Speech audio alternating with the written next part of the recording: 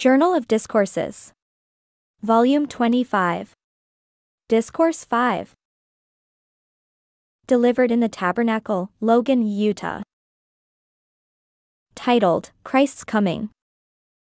Subjects include Near Coming of Christ, Work to be accomplished, Temples already built, and many more yet to be built, Redemption of the dead, Ezekiel's vision. How long will it take to warn the world? Will the Lord delay his coming until all this work is accomplished? Joseph Smith's mission on earth and behind the veil. Another mission to be undertaken. The resurrection of Joseph Smith is near. And, the meaning of the expression, the morning of the first resurrection. By Erastus Snow. I am asked to speak, but I feel in attempting to do so that my speech will be barren unless the Lord is pleased to inspire my mind by the Holy Spirit. I know there is faith in the hearts of the people, and the Lord is able to give words of edification and comfort. I am not, however, impressed with anything in particular, in the way of doctrine, to speak to my brethren and sisters. I have only a feeling to exhort in general terms. The Latter day Saints realize, as I do, that every year brings us nearer to the coming of our Lord that every month and week and day that passes over our heads brings us nearer to the great and important events that must transpire, and that it does not become us to give way to a feeling of apathy and indifference, and to say in our hearts, The Lord delayeth his coming, and that tomorrow will be as this day and much more abundant, and that the next generation will be like the present, and as the world has continued to roll on, as generations have come and generations have gone, so will it be with us and our children? I say it does not become us to give way to these sentiments and feelings which are common with unbelievers, with the world, or with the unenlightened, who have not a knowledge of God, who have not been favored with the light of revelation, who have not discerned the signs of the times. For we are not the children of darkness, but the children of light. Light has come unto us. We have been called out of darkness unto light. We have been translated from the kingdom of darkness unto the kingdom of God's dear Son, and therefore it may and ought to be said of us as St. Paul said concerning the saints Ye, brethren, are not in darkness, that that day should overtake you as a thief. It is written, and we expect it to be fulfilled upon the heads of the unbelieving and the wicked, that the Lord will overtake them as a thief in the night. In such an hour, said the Saviour, as ye think not the Son of Man cometh. Who then is a faithful and wise servant, whom his Lord hath made ruler over his household, to give them meat in due season? Blessed is that servant, whom his Lord when he cometh shall find so doing. Verily I say unto you, that he shall make him ruler over all his goods.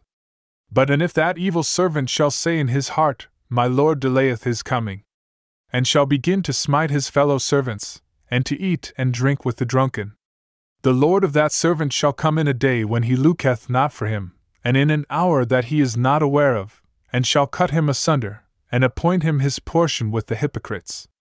Now, it is not impossible, nor yet improbable, that there will be some among the latter day saints who are called of God and appointed to this work, and who are set over their fellow servants to give them meat in due season, who will be found negligent, who will have forgotten their high and holy calling, who will have laid off their armor of righteousness, who will have become slothful and weary in well doing, and who will have taken to eating and drinking with the drunken and smiting their fellow servants. But as surely as any such are found among the servants of God, they will be overtaken when the day of the Lord cometh, and their portion will be appointed with hypocrites and unbelievers. But we hope better things of the elders of Israel, of presidents of stakes, of bishops, of high counselors, of high priests, of seventies, of priests, teachers, and deacons, and of all the latter day saints. For we have all been made partakers of this priesthood, and the blessings of the Lord, directly or indirectly, have been conferred upon us.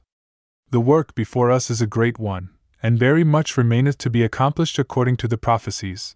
Israel is to be gathered, Jerusalem rebuilt, Zion established, the vineyard of the Lord pruned, and the corrupt branches cut off and cast into the fire while the good branches shall be grafted in and partake of the root and fatness of the tame olive tree. There is a great work to be accomplished in the earth. But the Lord has said by the mouth of his servants that he will cut his work short in righteousness in building up his kingdom in the latter days. True, when the Lord speaketh, he does not reckon time as we do.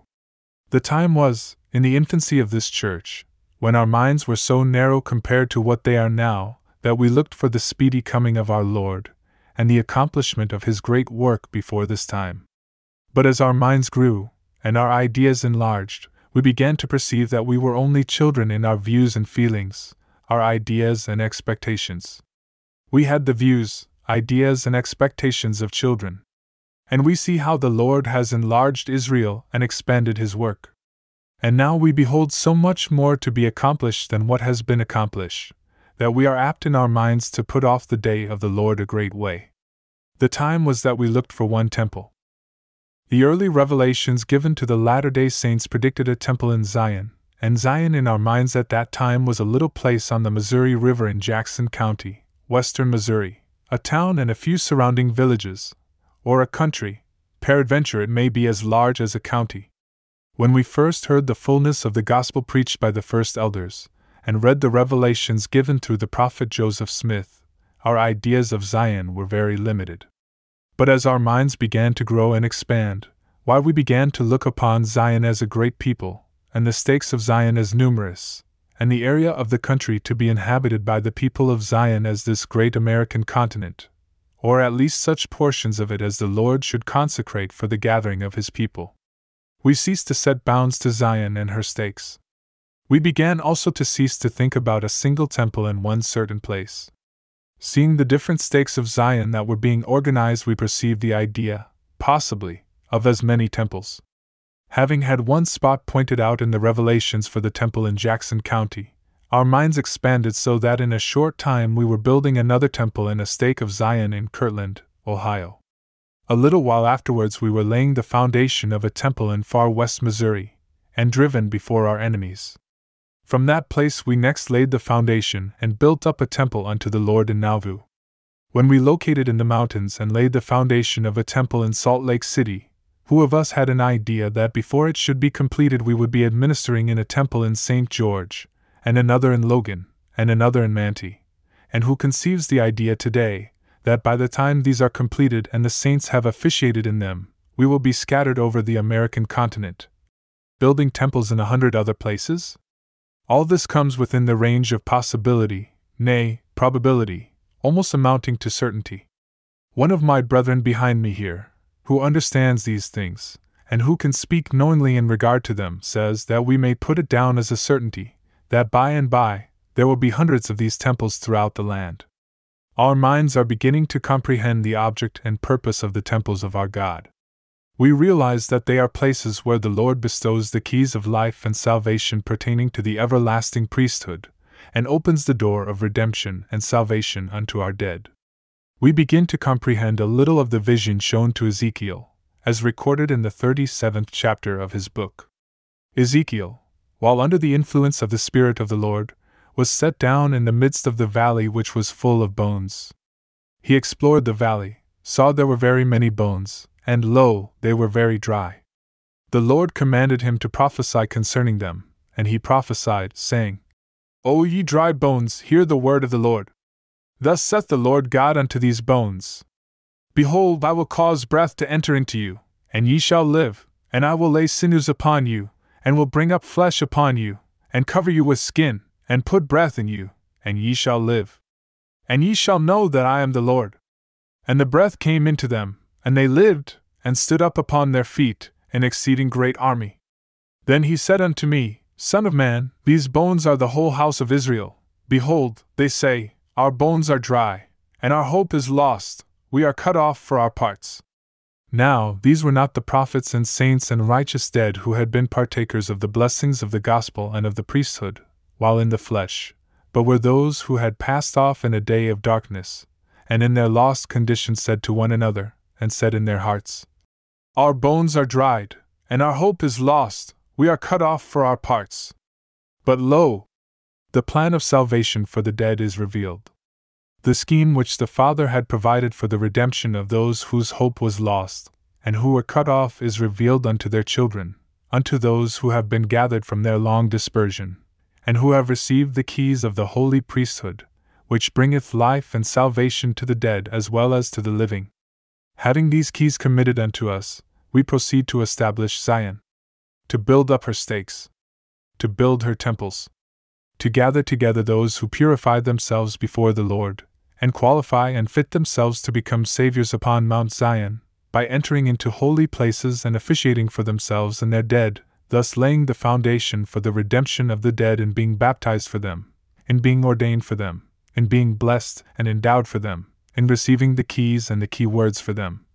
That in the day when the elders who have passed behind the veil shall preach to them the gospel of glad tidings of great joy, lo and behold, they will receive it and will be put in possession of those keys, endowments, and blessings, whereby they may be freed from their prison houses, and be raised from the dead, and stand upon their feet an exceeding great army, and be restored to the blessings which God promised to Abraham, Isaac, and Jacob, and their seed after them.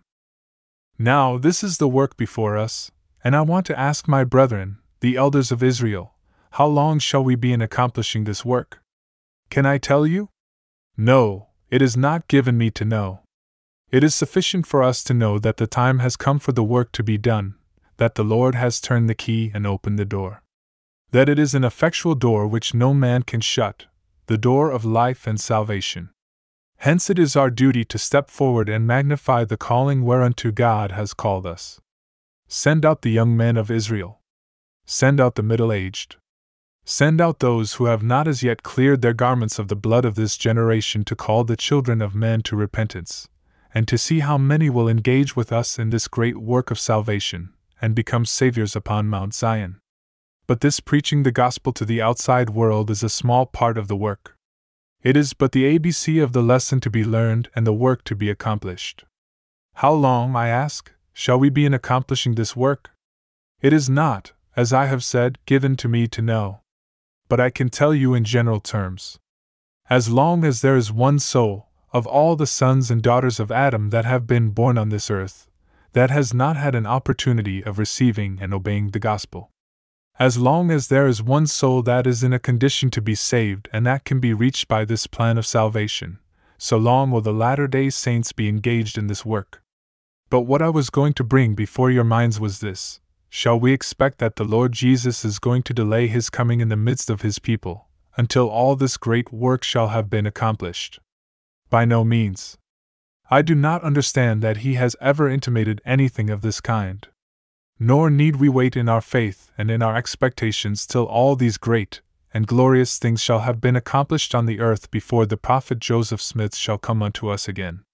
He has merely taken another mission in advance of us. He fulfilled the mission given unto him on earth. The Lord was satisfied with his labors here. He lived long enough to endow his brethren with full authority to carry on the work that he had begun on the earth. He took his departure behind the veil the Lord suffered his enemies to destroy him in the flesh, to take away his life, and he was made an offering. What shall I say? An offering for sin. Not in the sense in which the Savior was offered, but he was made a martyr for the truth, and his blood was shed to attest the testimony that he bore to the world. He entered upon another short mission. Where? Why, unto his brethren of the house of Israel, and as many of the Gentiles as will receive his testimony, behind the veil. The mission of our Lord and Savior Jesus Christ, between his death and resurrection, was a similar mission, but a very short one. It lasted only three days.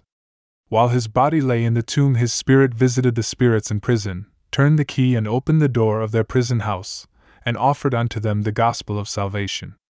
How many of them were prepared to avail themselves of it at that time? Comparatively few. But he opened the door and offered the message of life and salvation, and having done this, his fellow laborers, the seventies, elders, and others whom he ordained to the ministry, as fast as they finished their ministry in the flesh, continued their work among the spirits in prison. So is the prophet Joseph Smith officiating and ministering to those spirits, and so are all his brethren, the apostles, who have gone in his wake, who have followed, as it were, in his track. They have just gone behind the veil. Who shall we say? Let us call to mind a few of the brethren who have passed away.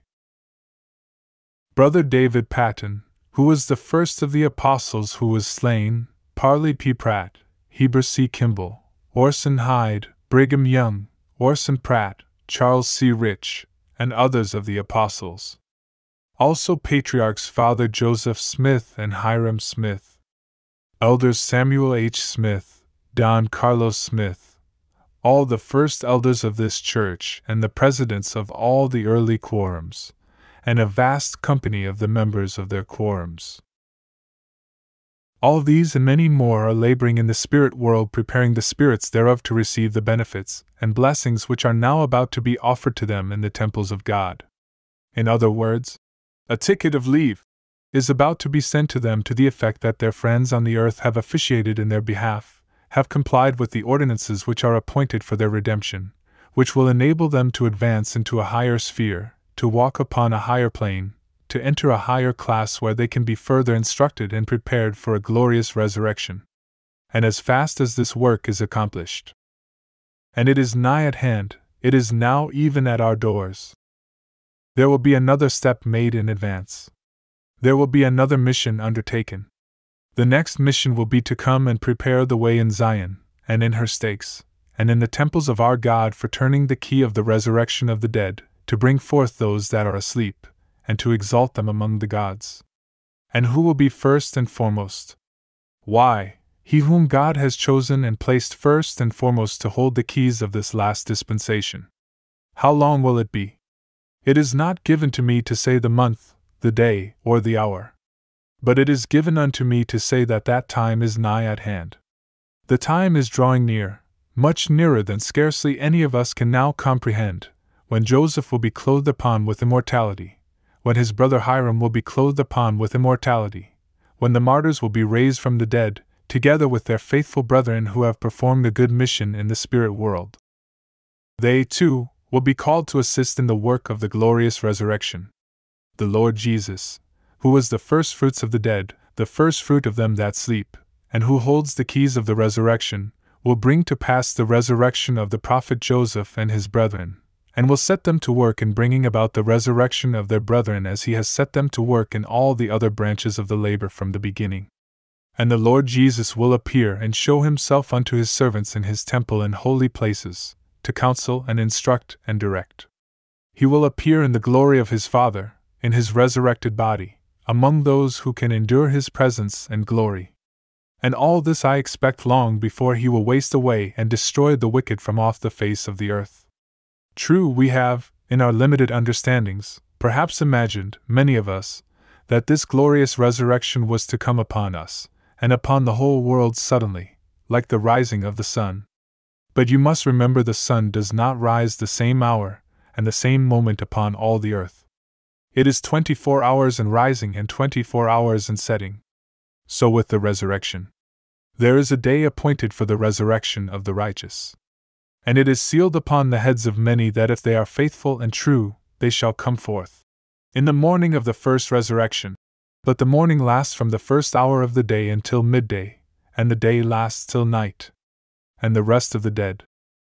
Those who are not prepared or counted worthy to have part in the first resurrection shall not live again until the thousand years are ended. In other words, the first resurrection will have been ended, and another period appointed for the resurrection of the rest of the dead. But this morning of the first resurrection is nigh at hand, and blessed are those who, through their faithfulness, shall be counted worthy to have part in it. For they shall be crowned kings and priests with God and the Lamb. They shall reign with Christ and in the midst of his people, and carry on the work of the redemption and resurrection of the saints of God. And while in some parts of the world the elders of Israel are preaching the gospel unto the heathen nations who have not been ripened for destruction, but whose kings and mighty men have perished, and whose governments have been broken in pieces and wasted away, and the government of the kingdom of God has been extended over them. While this is going on in some portions of the world, in other places, even in Zion and in her stakes and in Jerusalem, the children of God will be engaged in the redemption of their dead in the temples of our God and in the resurrection of those that are counted worthy of so great a salvation. Then, I say, we need not put off the day of the Lord so far from us. Rather, let us prepare ourselves for it. For lo and behold, he cometh quickly, and blessed are they who are prepared to receive him. For they shall enter into his rest and be crowned with glory, and shall labor with him and with the prophet Joseph and his brethren in bringing to pass this great salvation and redemption of our God. May God help us to continue faithful, in the name of Jesus. Amen. You were just listening to a discourse by Apostle Erastus Snow, delivered in the Tabernacle, Logan, Saturday afternoon, February 2, 1884. Remember our web address, the full acronym of the Church, TCO. JC. O. LDS.org. We hope you enjoyed, and sincerely hope you'll consider sharing. Take care.